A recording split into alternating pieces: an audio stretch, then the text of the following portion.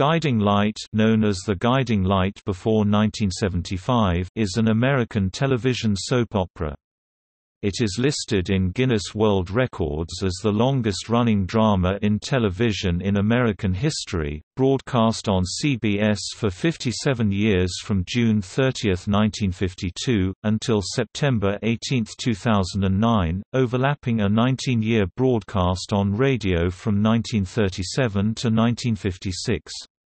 With an uninterrupted 72 years of radio and television runs, Guiding Light is the longest-running soap opera, ahead of General Hospital, and the fifth longest-running program in all of broadcast history. Only the American country music radio program Grand Ole Opry, first broadcast in 1925, the BBC religious program The Daily Service, 1928, the CBS religious program Music and the Spoken Word 1929, and the Norwegian children's radio program Lørdagsbarnetimen (1924–2010) have been on the air longer. Guiding Light was created by Irna Phillips and began as an NBC radio serial on January 25, 1937.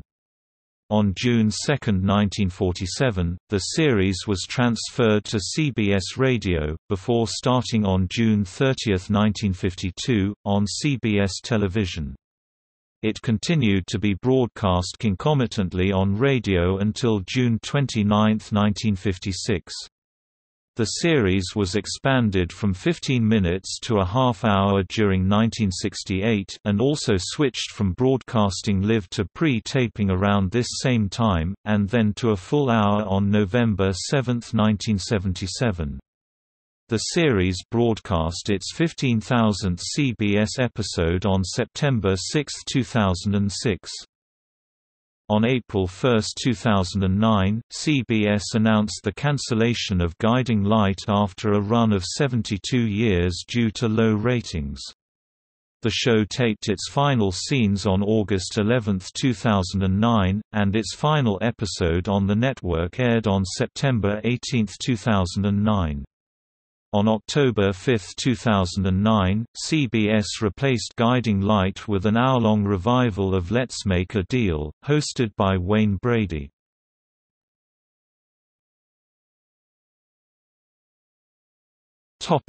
Origins, plot development, and cast Guiding Light has had a number of plot sequences during the series' long history, on both radio and television. These plot sequences include complex storylines, and different writers and casting.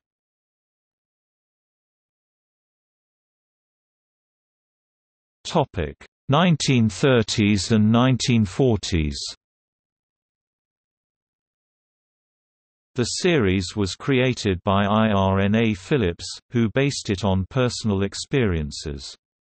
After giving birth to a stillborn baby at age 19, she found spiritual comfort listening to the radio sermons of Preston Bradley, a famous Chicago preacher and founder of the People's Church, a church which promoted the brotherhood of man. These sermons originated the idea of the creation of the Guiding Light, which began as a radio series. The original radio series was first broadcast as 15-minute episodes on NBC Radio, starting on January 25, 1937. The series was transferred to CBS Radio during 1947.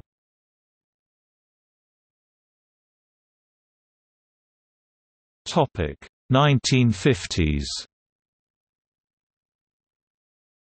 The Guiding Light was broadcast first by CBS television on June 30, 1952, replacing the cancelled soap opera The First Hundred Years.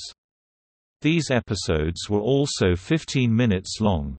During the period from 1952 to 1956, The Guiding Light existed as both a radio and television serial, with actors recording their performances twice for each day that the shows were broadcast. The radio broadcast of The Guiding Light ceased production during 1956, ending this overlap. With the transition to television, the main characters became the Bauers, a lower middle class German immigrant family who were first introduced in the radio serial in 1948. Many storylines revolved around Bill Bauer, son of patriarch Friedrich Papa Bauer, and his new wife Bertha, nicknamed Bert Papa Bauer, who came to the United States during World War I with just a few dollars in his pocket, was a salt-of-the-earth character who succeeded in offering opportunities to his children by working hard, and he instilled that work ethic into his children. Bert had dreams of climbing the social ladder and keeping up appearances, and it was up to Bill and sometimes Papa Bauer to bring her down to earth. The Guiding Light ranked as the number one rated soap opera during both 1956 and 1957, before being replaced during 1958 by As the World Turns. After Irna Phillips was transferred to As the World Turns during 1958, her protege Agnes Nixon became head writer of The Guiding Light. The first television producer of The Guiding Light was Lucy Ferri Rittenberg, who produced the show over 20 years.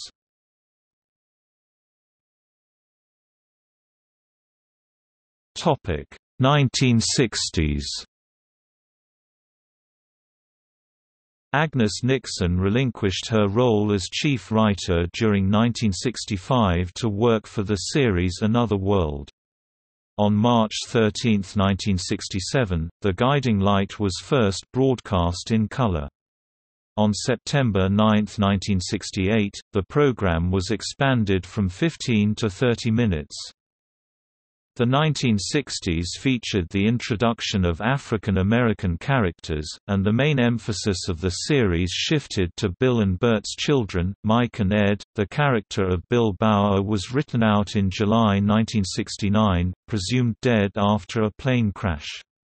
The show also became a bit more topical during the 1960s, with such storylines as Bert Bauer's diagnosis of uterine cancer in 1962.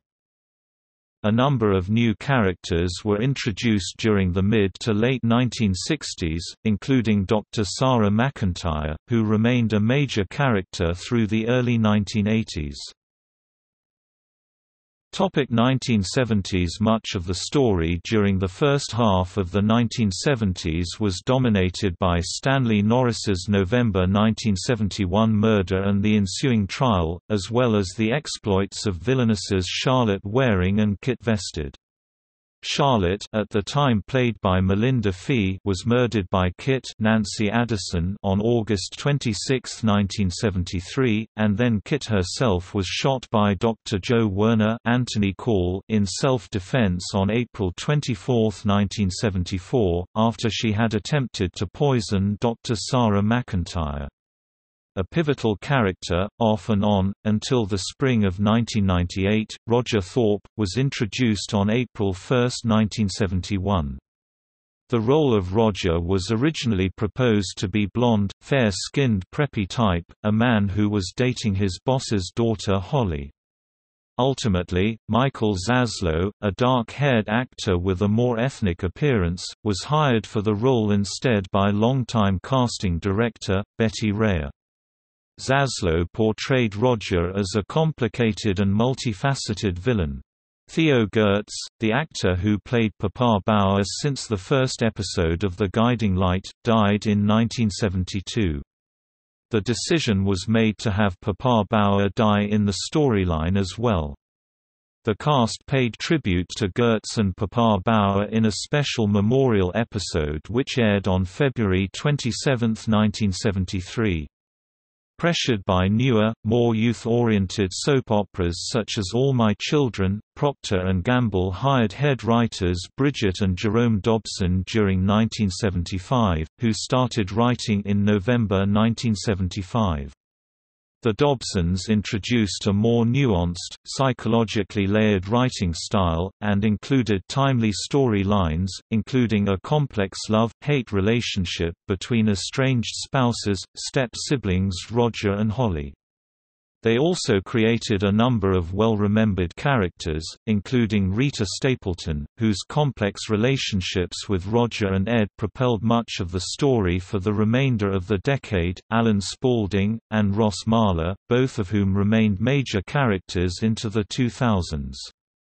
The decision was made during the fall of 1977 to reintroduce the thought-dead character of Bill Bauer, in a major retcon. The other characters thought that he had died in an airplane crash in July 1969, but he was said to actually be alive. Many viewers who had also paid attention to the show and story line back in September 1968, remembered that Bill was told he would only have nine more years to live. One of the problems with this return is that the Dobsons seemed not quite sure what to do with his return. Although it was shocking, at first, to many of the characters, Bill himself ended up being charged for a murder of a man in Vancouver Mike got his father off for the crime, proving that it was an accident, rather quickly and by April 1978 Bill had left town, again.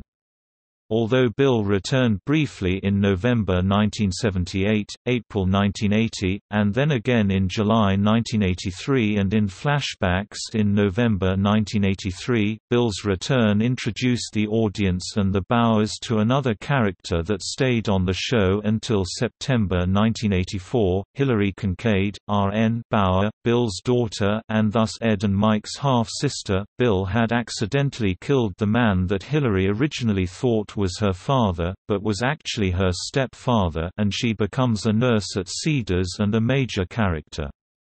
Surprising many viewers, Jerome and Bridget Dobson killed the show's young heroine, Leslie Jackson Bauer Norris Bauer, in June 1976.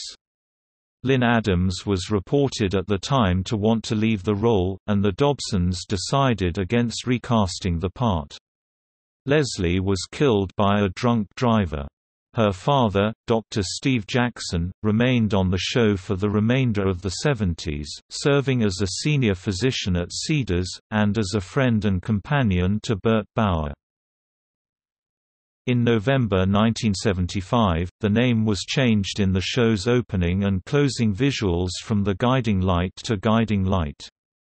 On November 7, 1977, the show expanded to a full hour and was broadcast from 2.30 to 3.30 p.m. daily.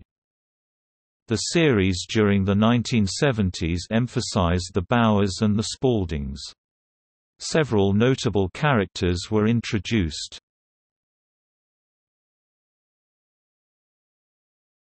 Topic 1980s Bridget and Jerome Dobson assumed the head writing duties of As the World Turns in late 1979. Former actor Douglas Marland, assumed the head writing reins of Guiding Light in 1979. He introduced many new characters, including the Reardon family. During May 1980, Guiding Light won its first Outstanding Drama Series Daytime Emmy. One of Marland's stories featured the character of Carrie Todd Marler, played by Jane Elliott. Carrie was diagnosed with multiple personalities. Marland had barely delved into her psychosis when Elliott's contract was abruptly terminated by executive producer Allen M. Potter in 1982. As a result, Marland resigned in protest. During the early 1980s, the show began to emphasize younger characters more, as an attempt to compete with the younger skewing ABC serials.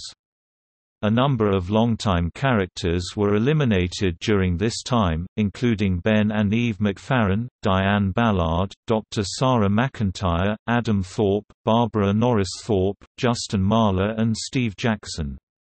Actress Lenore Kasdorf quit the show in 1981, and producers decided not to recast the role of Rita Stapleton Bauer, given how popular Kasdorf had been.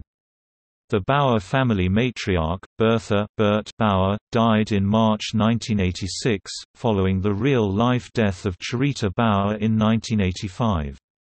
During Guiding Light's 50th anniversary year in 1987, a commitment was pledged to showcase the Bauer family in primary roles as much as possible, after audience reaction to the Oklahoma-bred Lewis and Shane families turned out to be mixed. As a result, the tradition of the Bauer July 4th family barbecue began that year, and continued until 2009, the serial's final year on CBS television. An ever more complicated storyline emphasized the Bauer, Spaulding, Reardon, and Raines families. Pam Long, actress and writer for NBC's Texas from 1981 to 1982, became head writer during 1983 and re-emphasized the series on Freddie Bauer Philip Spaulding, Mindy Lewis, and Beth Raines. She also introduced characters Alexandra Spaulding, performed by actress Beverly McKinsey, of Another World and Texas fame, and Reva Shane, played by Kim Zimmer. The ratings in the mid to late 1980s were solid and healthy. Pamela K. Long returned for a second head writer stint from 1987 to 1990. The characters of Roger Thorpe and Holly Norris returned to the series during the late 1980s. Maureen Garrett reprised her role of Holly No. 2 in 1988, followed by Michael Zaslow as Roger in 1989.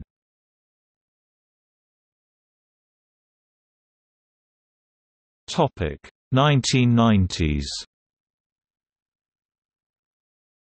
With the new decade, the series' storytelling transitioned from Long's homespun style to a more realistic style with a new group of chief writers. The Bauer, Spaulding, Lewis, and Cooper families had been established as core families, and most major plot developments concerned them. The show generally held on in the middle of the pack as far as ratings went throughout the decade. The show suffered major character losses mid-decade, including the car accident death of Maureen Bauer and the exit of Alexandra Spaulding from the story. As the decade progressed, the program developed a series of outlandish plot twists seemingly to compete with the serial's Passions and Days of Our Lives. In an attempt to revive the series, the character Reva Shane was brought back to Springfield during April 1995. She'd been presumed dead for the previous five years, after having driven her car off of a bridge and into the water off the Florida Keys. Later that July, antiheroine Tangie Hill, played by Marcy Walker, who declined to renew her contract was eliminated after nearly two years with the show in favor of the full-time return of fan favorite Nola Chamberlain, played by Lisa Brown. During January 1996, soap opera veteran Mary Stewart joined the cast as Meta Bauer though referred to many times over the years, the long-running character originally played by Ellen Demming had not been seen on screen since 1974. The character remained on the show until Stewart's death during 2002. January 1998, Bethany Joy Lenz came to the show as teenage Reva clone Producers were so impressed with her acting and attitude during her three-week role as teenage Reva clone on the show that she was rehired later that year in the contract role of Michelle Bauer Santos on the daytime serial. From 1999–2000.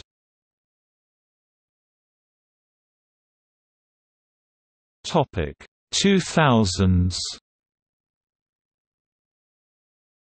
The 2000s began with the division of the show into two locales, Springfield and the fictional island nation of San Cristobal. In Springfield, the Santos mob dynasty created much of the drama. Meanwhile, the royal Winslow family had their own series of intrigues with which to deal. During 2002, however, San Cristobal was eliminated from the series and the mob's influence in the story was subsequently diminished and, with the departure of character Danny Santos during 2005, eliminated altogether. Also, Guiding Light celebrated its 50th anniversary as a television show on June 30, 2002. During 2004, former director and actress Ellen Wheeler Emmy Award winner as an actress for the series All My Children and Another World took over as executive producer of Guiding Light. She and writer David Kreisman made numerous changes to the sets, stories, and the cast. Several veteran actors were eliminated, mainly because of budget decreases. Because of the lack of veteran influence, Wheeler re-emphasized the youth of Springfield, especially the controversial pairing of cousins Jonathan and Tammy. During 2006, an episode featured character Harley Cooper gaining heroic abilities. The episode was semi-continued in an eight-page story in Select Marvel Comics Productions. The series had its 70th broadcast anniversary during 2007. The anniversary was commemorated with the initiation of website findyourlight.net and a program of outreach, representing Irna Phillips's original message. There was also a special episode during January 2007, with current cast members playing Phillips and some of the earlier cast members. The series also introduced special beginning credits commemorating the anniversary. Despite low ratings, the show won 2007 Daytime Emmy Awards for Best Writing and Best Show sharing Best Show with The Young and the Restless. Topic end On April 1, 2009, CBS announced that it would not renew Guiding Light, and the last broadcast date would be September 18, 2009. Procter & Gamble initially announced that they would attempt to find another outlet to distribute the series, but later admitted that they had been unsuccessful in doing so, and that on September 18, 2009, after 57 years on television, preceded by 15 years on radio for a total broadcast history of 72 years, Guiding Light would end its broadcast history on CBS. During the final weeks of the series, numerous characters from the series past passed through Springfield one last time, culminating with Ed and Holly, who impulsively embarked on an unspecified journey together. Alan Spaulding suffered fatal heart failure during the final week, but not before resolving conflicts with many former adversaries, including Jonathan. Alan's death brought the characters together in a way that could not have happened while he was still alive. Alexandra is especially distraught about Alan's death, but was pleased when Fletcher Reed came to the Spaulding mansion after Alan's service, and convinced her to accompany him to Europe.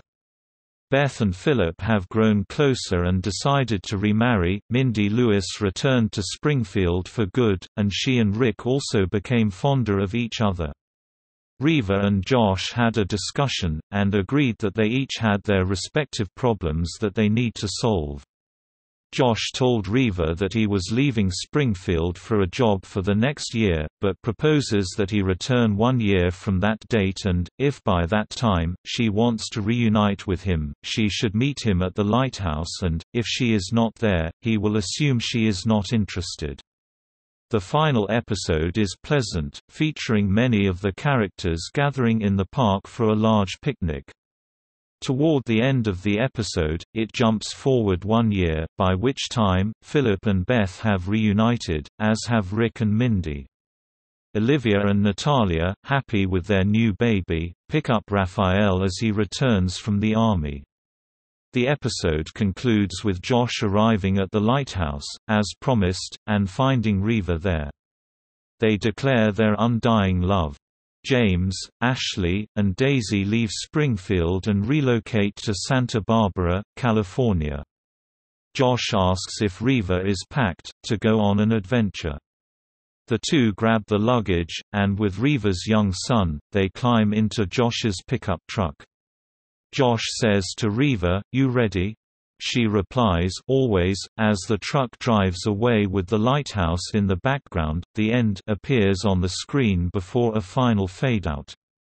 The song heard playing in the background during the final scene is Together by Michelle Branch. The final episode also included the original tagline, with some revision, printed on the screen with the words There is a destiny that makes us family, replacing the word brothers, as well as quick film clips of each of the show's title cards and announces during the six decades it was on television, leading to the show's former longtime beginning announcement, and now now, the guiding light.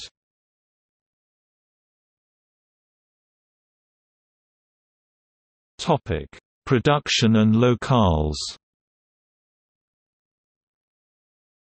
Guiding Light was broadcast from three locations, Chicago where creator Irna Phillips resided, from 1937 until 1946, Hollywood, from 1947 until 1949, and New York City starting during 1949. It was relocated from Chicago to Hollywood, despite objections of both Phillips and Arthur Peterson, to take advantage of the talent pool.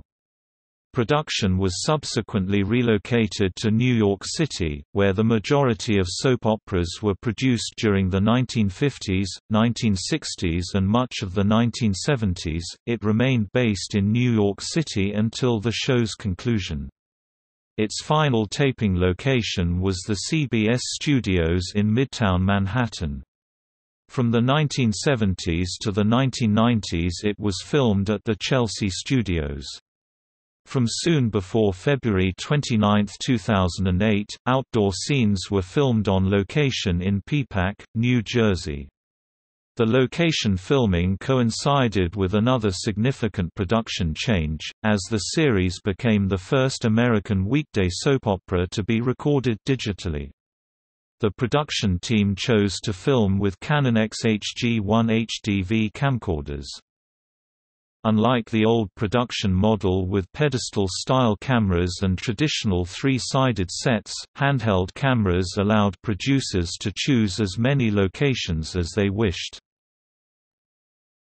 Topic final CBS seasons During the daytime drama's 57th season on television and 72nd overall season, the series had changed its look to a more realistic experience in an attempt to compete with the growing popularity of reality television. The new look of Guiding Light included freehand camera work and less action shown on traditional studio sets. Producer Ellen Wheeler introduced a shaky cam style, present in a number of movies, featuring extreme close-ups and frequent cuts, including those that broke the axis which proved disorienting to viewers accustomed to shows with the traditional soap opera look. Also new was the filming of outdoor scenes in actual outdoor settings. Even many indoor scenes had more of an on-location feel, repurposing real locations, such as Guiding Lights production offices, to be motel rooms, nail salons, Quick Mart and other businesses or locations. Thereby, the series had numerous sets without the cost of numerous separate locations. CBS and the show's producers had hoped that the new look would increase ratings, but the plan was ultimately unsuccessful. On April 1, 2009, CBS cancelled the series after 72 years, with the series finale airing on September 18, 2009, making it the second to last Procter & Gamble soap opera to end.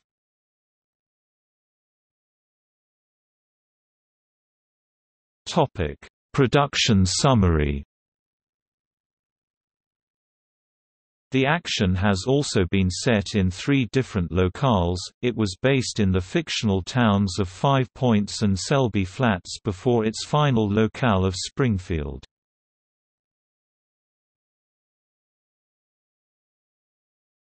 Topic: Cast and characters.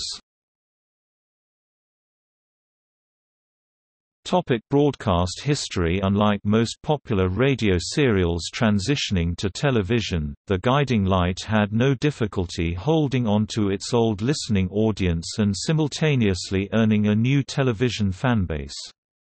For at the time The Guiding Light made its television debut, neither ABC nor NBC had broadcast programs on their respective networks at 2.30 p.m. Eastern, 1.30 Central, where CBS first placed The Guiding Light. However, six months into the run, the network moved the serial to a timeslot that gave it great popularity with its housewife audience, 12.45 p.m., 11.45 a.m. It kept the new time slot for the next 19 years and 8 months, sharing the half hour with its sister Procter & Gamble packaged soap opera, Search for Tomorrow. The Guiding Light handled the competition breezily, even against otherwise legendary shows such as Queen for a Day on ABC, briefly in 1960 and NBC's Truth or Consequences. Usually, the guiding light ranked second in the Nielsen ratings behind another serial, As the World Turns, 1968, however, saw changing viewership trends that prompted CBS to expand its last two 15-minute daytime dramas, disrupting long-standing viewing habits. Search for Tomorrow took over the entire 12:30-1, 11:30 noon period, with the guiding light returning to its first timeslot, 2:30, 1:30, albeit in the now standard half-hour format, on September 9.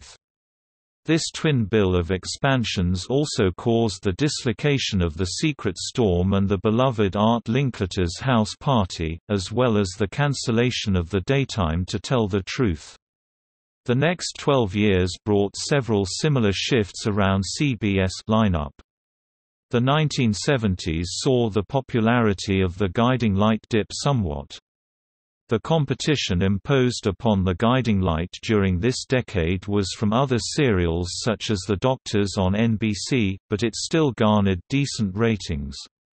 After four years, CBS bumped its timeslot up by a half hour to accommodate Procter & Gamble's demand that The Edge of Night move to 2.30, 1.30, a move that led to the end of that show on CBS three years later. In the meantime, the guiding light stayed steadily on course against NBC's Days of Our Lives and ABC's The Newlywed Game. In late 1974, ABC replaced the Newlywed Game with the $10,000 Pyramid, which went on to garner strong ratings, but not greatly at the Guiding Light's expense. Meanwhile, by fall 1975 at which point the show had officially dropped the word the from its title, although it was still referred to as the Guiding Light on air for several years after, the impending departure of The Edge of Night for ABC, to say nothing of CBS' planned expansion of some serials, affected Guiding Light by pushing it back to 2.30, 1.30 once more in December.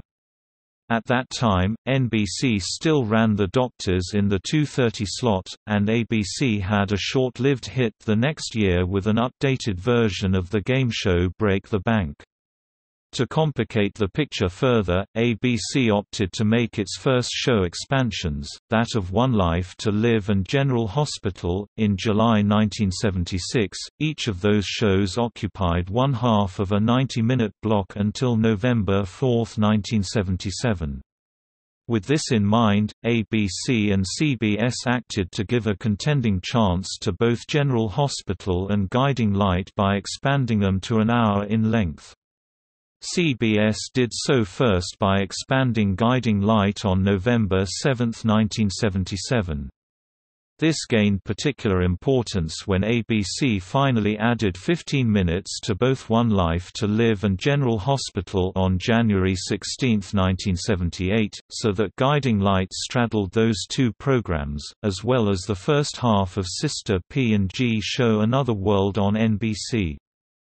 Despite that General Hospital surprising all observers by skyrocketing from near cancellation to the top place in the ratings with the various storylines, Guiding Light held its own while in direct competition with General Hospital, still hit an upswing as the decade ended. On February 4, 1980, CBS bumped Guiding Light down again, to 3 p.m., 2c, and its sister P&G soap As the World Turns to 2 p.m., 1c, in the midst of a major scheduling shuffle intended to give The Young and the Restless itself now expanding to an hour length a shot at beating ABC's All My Children. NBC did the same with its soap operas as well with all three networks now going head-head in every time slot. It remained in this time slot for the rest of its run in some markets, facing General Hospital and NBC entries such as Texas a spin-off of Another World, the match game Hollywood Squares Hour and Santa Barbara. None of these shows, not even General Hospital, had any significant impact on the ratings of Guiding Light at 3 p.m. during this period. Overall, the first half of the 1980s saw a revival in Guiding Light's popularity, with a top five placing achieved in most years and even a brief dethroning of then powerhouse General Hospital from the number one ratings spot for three consecutive weeks. However, as the decade progressed, the ratings slipped a bit, although it was still performing solidly.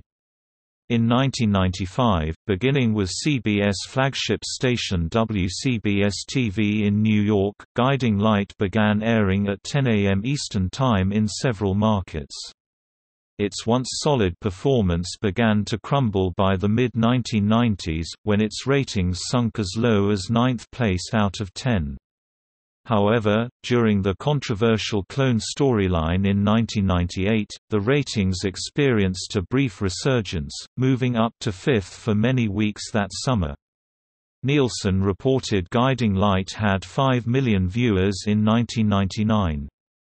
Up until its finale in 2009, stations in a number of markets aired Guiding Light in the morning either at 9 or 10 a.m. local time, Miami, Chicago, Baltimore, Boston, Detroit, New York City, Los Angeles, San Francisco, Philadelphia, Pittsburgh, Dallas-Fort Worth, Orlando, Atlanta, Columbia, South Carolina, Fort Wayne, Indiana, South Bend, Indiana, Portland, Oregon, Quad Cities, Buffalo, Reno, Portland, Maine, Milwaukee, Albany, New York, and Scranton Wilkes-Barre, PA. Guiding Light aired at 12 noon local time in Honolulu, Hawaii. In Savannah, Georgia, it aired at 4 p.m. local time. Before 2004, stations that aired Guiding Light in the morning were always one episode behind those that aired the program at its official timeslot of 3 p.m. ET. This changed in March 2004, during the first day of the NCAA March Madness basketball tournament, in which stations airing the show at 10 a.m. were able catch up with stations that televised it at 3 p.m. Starting in 2006, stations that televised Guiding Light at 9 am were also offered a same-day feed to catch up with the rest of the network.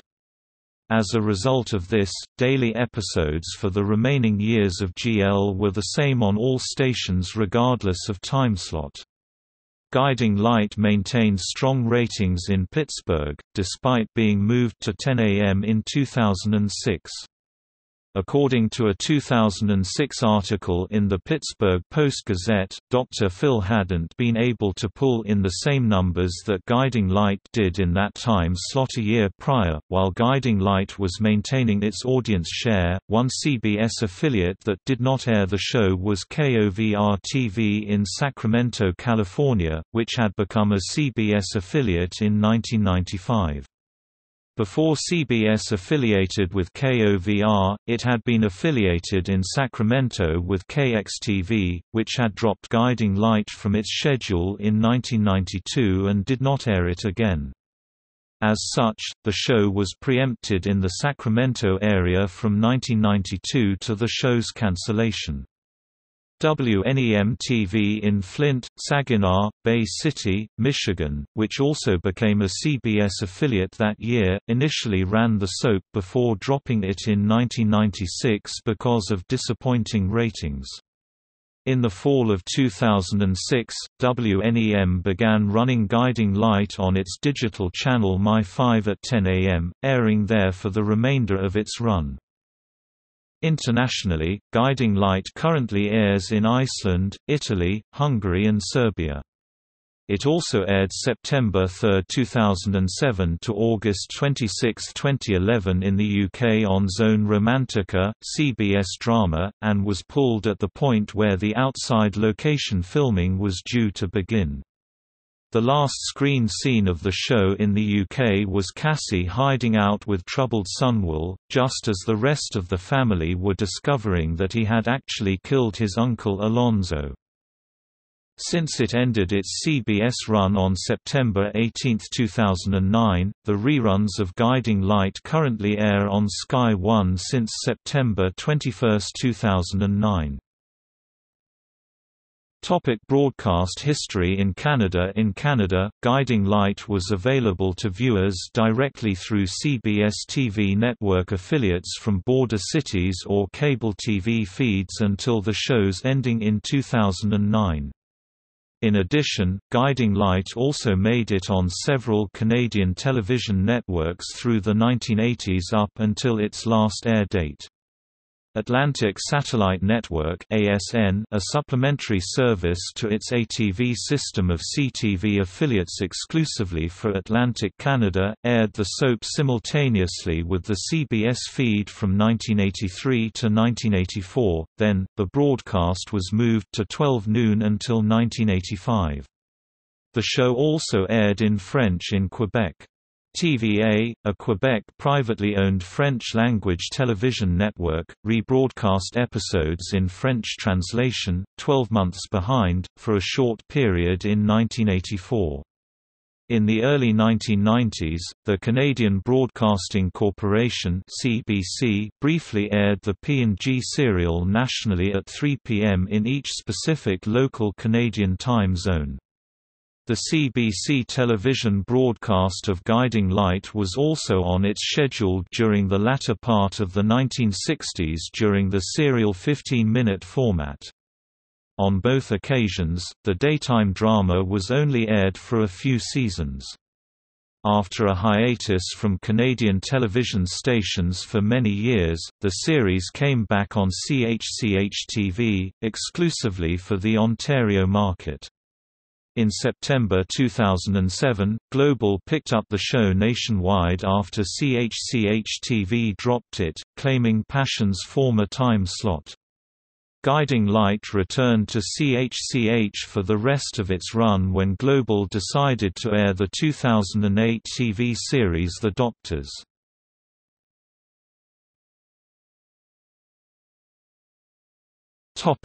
Awards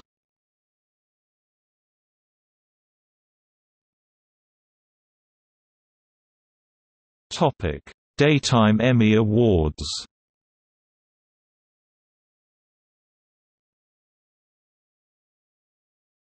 Topic: Show.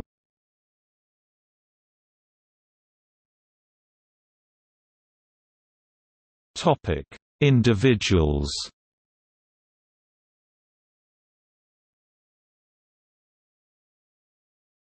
Topic: Other awards.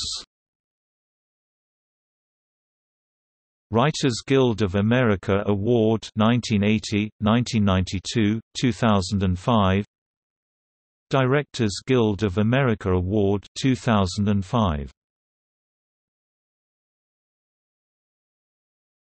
Topic Head writers and executive producers.